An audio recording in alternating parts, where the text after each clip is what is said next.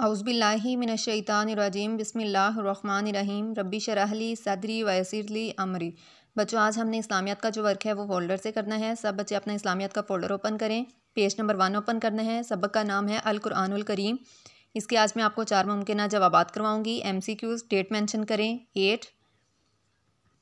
M C Qs है नबी करीम अलैहि वसल्लम की मस्जिद का नाम है मस्जिद अक्सा मस्जिद निमरा मस्जिद नबवी मस्जिद नबवी नबी पाक का रोज़ा पाक है मक्का में, मदीना में या जद्दा में, मदीना में। कुरान पाक और डैश ने लोगों को अच्छी बातें बताई। फ़रिश्तों, नबी पाक या जिन्नू, नबी पाक।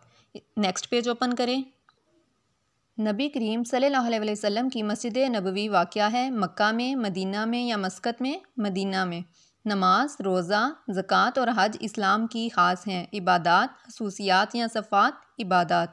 यहाँ निशान लगाएँ, ये पाँच, चार मुमकिन जवाब हैं। ये आपने ज़ुबानी याद करने हैं, याद करके अपनी मामा को सुनाने हैं। उसके बाद आज हमारा जो इस्लामियत नाजरे का काम है, वो पहला कलमा बिमा तर्जुमा है।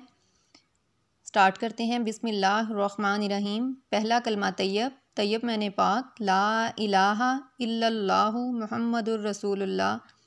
तर्जुमा, अल्लाह के सिवा कोई मबूत नहीं। मोहम्मद सल्लल्लाहु वसम अल्लाह के रसूल हैं। यह आपने ज़ुबानी याद करना है, याद करके अपनी मामा को सुनाना है। आज का हमारा इस्लामियात और नाजरे का यही सबक है।